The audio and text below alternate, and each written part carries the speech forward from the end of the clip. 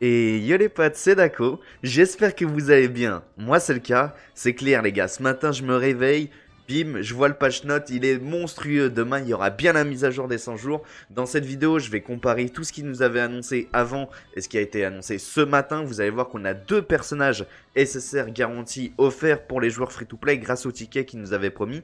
Mais avant ça, s'il y en a qui sont pas abonnés à la chaîne, pensez à vous abonner, c'est vraiment important, j'essaie de faire un contenu par jour. Et après, je vous dirai un petit peu ce que le leaker a annoncé aussi pour compléter le patch note.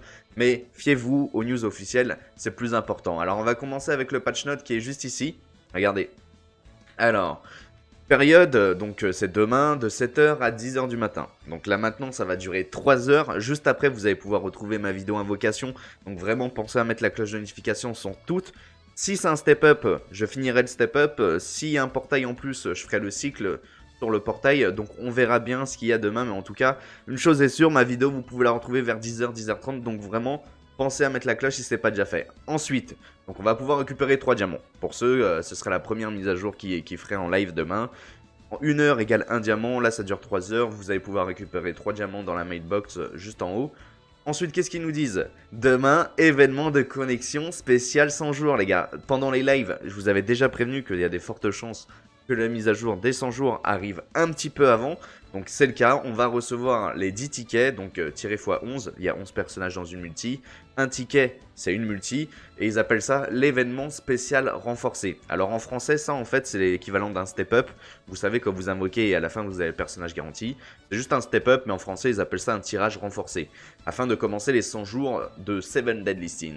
Ok vous aurez un maximum de 110 tirages avec ces 10 tickets. Donc là, ils nous disent clairement qu'ils vont nous offrir 10 tickets. Ce sera sûrement un par jour pendant 10 jours. Donc on verra bien dès demain. Événement renforcé spécial célébration des 100 jours. Donc ça, c'est Step Up. Donc ça, en anglais, ça doit être Step Up. Vous pouvez obtenir Merlin Sorcière Suprême Infinie SSR garantie. Donc pour les 100 jours, on aura le Step Up de Merlin Bleu et en, offerte hein, carrément à la fin des tickets vous allez pouvoir l'avoir gratuitement. Après on ira voir ce qu'elle fait sur le site euh, français que, j'adore. Et après ils nous disent vous pouvez obtenir Lyonnaise Princesse Elisabeth SSR avec un tirage tout simplement. 10 points de loyauté seront seulement nécessaires. Donc euh, c'est la Elisabeth SSR verte. Je vais pas vous montrer ce qu'elle fait. Elle est déjà dans le jeu mais c'est la meilleure healeuse en Elisabeth. Du coup c'est cool Ensuite, mise à jour du système, ticket d'achèvement auto et mission d'expédition. Alors, il nous l'avait montré dans l'ancien patch note. On y retournera pour vous montrer euh, comment c'est le visuel, mais ça, ça va être super bien. Que ce soit pour proc les démons ou pour farmer, vous allez voir que les tickets auto, ça va être la base quotidienne pour tous les joueurs qui jouent vraiment beaucoup tous les jours à Seven Deadly Sins. Ça va être trop bien.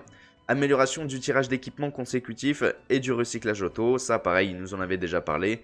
Ajout des liens vers le forum et les réseaux sociaux du jeu, ok.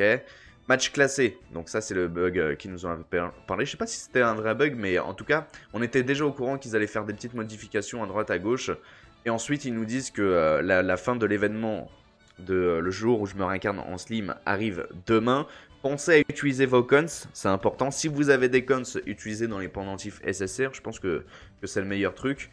Vraiment, utilisez, à part si vous pouvez acheter une unité, sinon utilisez maintenant parce que dès demain, je crois que la boutique elle sera plus disponible. Donc euh, utilisez vos, euh, codes, c'est important. Donc voilà pour le patch note de demain. Là, on va comparer avec euh, le visuel qui nous avait envoyé la semaine dernière. Tous les liens seront dans la description. Donc n'hésitez pas à check juste après cette vidéo les liens que j'aurai mis dans la description. Donc là, on peut voir les tickets d'achèvement auto de niveau. Donc vous voyez, ça va ressembler à ça. Ça va être des tickets qu'on va pouvoir récupérer grâce aux, missions quotidiennes normalement et grâce aux patrouilles. Donc les patrouilles, c'est les expéditions, c'est ce qu'on voit sur le côté droit. On va pouvoir envoyer des personnages, vous pouvez les utiliser pendant qu'ils sont en patrouille normalement.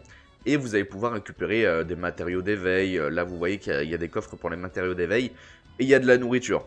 Donc globalement, on va pouvoir en récupérer quelques-uns par jour. Ça va être hyper pratique.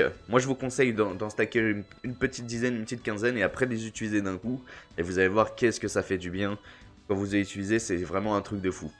Après, le tirage d'équipement, qu'est-ce qu'il nous raconte? Alors ça, il nous l'avait déjà montré. Si j'ai bien compris, regardez, en fait c'est quand vous invoquez dans le portail, donc il y a très peu de gens qui s'en servent, il y aura un petit truc là sur le côté droit qui va permettre de, euh, mettre des paramètres et vous allez pouvoir euh, reroll les équipements que vous ne voulez pas quand vous invoquez avec ça. Après, dites-moi dans les commentaires si vous utilisez cette fonction, mais globalement, euh, perso, je l'utilise rarement, peut-être qu'avec la single gratuite.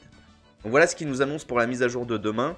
Mais sachez qu'ils nous avaient annoncé d'autres choses, et pour le pré-patch note, ils ne l'ont pas annoncé, du coup, avant d'aller regarder ce que fait Marlin Bleu, je vais vous dire ce qui manque. Alors le nouveau chapitre, on l'a eu, tout va bien. Il nous manque le nouveau combat de boss, qui devrait arriver un week-end, j'imagine, ou alors ce sera la semaine prochaine. Je pense qu'il va arriver, mais ils nous ont pas parlé. Ça, ça arrive dès demain, donc c'est nickel. Et il nous manque les skins. Il nous manque les skins qui n'ont pas été annoncés, le combat de boss, après la training cave, ils en ont pas parlé dans le patch note des 100 jours. Mais globalement, il nous manque ça dans, la dev note qu'ils nous avaient fait il y, a, une semaine maintenant. Je crois que j'avais fait un live sur la chaîne. Vous pouvez retrouver la, rediffusion ou alors je vous mettrai aussi le lien dans la description. Mais en tout cas, ça va être super bien. Ça va être super bien. Alors, maintenant, du coup, je vais vous dire par rapport au leak ce qui a été annoncé. Je vais pas vous le montrer, mais il faudra juste me croire. Ça vient pas de moi, ça vient du mec que je vous ai dit qui s'est jamais trompé. Peut-être que demain il va se tromper, mais il annonce un nouveau personnage, il annonce la Valentie verte. Alors est-ce qu'il y aura le portail gratuit des tickets plus un portail avec Valentie verte? Est-ce que Valentie verte sera dans le portail des 100 jours? J'imagine que non, mais en tout cas il annonce ce personnage. Du coup on verra bien demain les gars. Maintenant, on va, passer à la Merline bleue. Il y en a beaucoup qui veulent savoir est-ce qu'elle est bien. Vous avez sûrement entendu des mauvaises choses sur elle. Et ben, on va aller regarder, voir si elle est si mauvaise que ça ou si elle est sympa. Normalement, elle sera dans le tirage des 100 jours avec les tickets. Du coup, on peut dire que c'est un perso free-to-play parce que vous pouvez récupérer vos tickets normalement tous les jours et invoquer dessus pour la récupérer à la fin. Donc c'est cool, c'est un perso qui n'a pas été offert sur l'autre version et là il est offert donc euh, je trouve ça sympa. Alors moi je commence toujours par la carte de level 1, ensuite je fais le passif, la carte level 2, etc. les gars. Alors, sa carte level 1 inflige des dégâts égaux à 160% de l'attaque à un ennemi. Jusque là, rien de choquant. Sa carte level 2 inflige des dégâts égaux à 180% et l'oblige à utiliser que des skills d'attaque pendant un tour. Ça veut dire que si elle attaque King, par exemple, il va pas pouvoir euh, pétrifier, si elle attaque Gozer avec sa carte level 2, il va pas pouvoir faire euh, Gozer mitraillette level 2 qui, euh, qui style l'attaque vu que ça, devient un malus. Donc ça peut être sympa, ça peut être pas mal. Après la carte, euh, après le problème c'est que ça dure qu'un tour. Que ce soit la level 2 ou la level 3, là on peut voir que ça dure qu'un tour. Après je pense que c'est ok. C'est quoi son passif du coup? Pour chaque debuff actif sur les ennemis, Merlin gagne 2% d'attaque. Ça peut être pas mal à utiliser avec le Slader rouge qui, met vraiment beaucoup de, de debuff ou avec euh, sa spé normalement qui devrait euh, sceller l'attaque euh, vu que ça change jamais les spé. Ta carte level 2 inflige des dégâts égaux à 100% de l'attaque à tous les ennemis et diminue les rangs de compétences. Ça, ça peut être pas mal pour... En vrai, c'est moqué. C'est pas incroyable, c'est sympa. Mais le problème... En fait, c'est ce que fait certaines spé. Sauf qu'après, les dégâts, c'est pas les mêmes dégâts. Et là, ça réduit les rangs de compétences et la jauge de cool team, mais c'est la level 3. Donc il faut avoir la level 3 pour qu'elle soit vraiment bien. Et sa spé, ça inflige des dégâts égaux, c'est comme les autres Merlin. Et ça neutralise les compétences d'attaque. Ça veut dire que si vous mettez l'aspect, ensuite vous jouez sa carte, euh, sa carte 1 avec euh, la 2 étoiles, le mec il pourra pas attaquer pendant un tour. Donc vous lui scellez ses cartes d'attaque, vous l'obligez à utiliser des cartes d'attaque, et le mec ne peut plus jouer. Donc en vrai, c'est euh, un bon personnage sympathique, c'est pas un très bon personnage, mais c'est un personnage sympa, et puis surtout, il va être gratuit avec les tickets, donc que demande le peuple, les gars Que demande les peuples? Maintenant, on va passer à Valentie, si jamais elle arrive dans le portail, sinon je vous referai une autre vidéo dessus quand elle sera vraiment annoncée officiellement. Faut savoir que là c'est le pré-patch note, on aura plus d'informations vers 3h, 4h du matin, et puis sinon sur ma vidéo de demain, si elle est là, on invoquera sûrement dessus. Alors Valentie, vous allez voir qu'est-ce qu'elle fait, alors déjà, elle fait partie de la team humain, donc euh, vous allez pouvoir la jouer avec euh, d'autres humains, heures, si vous voulez euh, booster euh, les, stats des humains, etc. Et elle est verte. Qu'est-ce qu'elle fait? C'est un perso qui va être très très fort hein, en PvP, mais euh, si vous faites pas de PvP, c'est clairement skippable. C'est vraiment skippable. On va lire ensemble les cartes du personnage.